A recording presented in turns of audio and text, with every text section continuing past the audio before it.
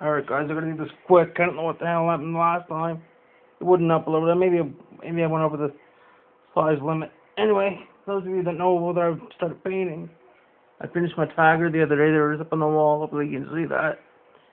I'm using my phone to record this. Got two more paintings. Got a couple of birds. I got a cabin in the woods through the forest. That's when I'm going to start tomorrow morning. Take it easy, guys. Have a good one, and we'll see you tomorrow morning when I start this.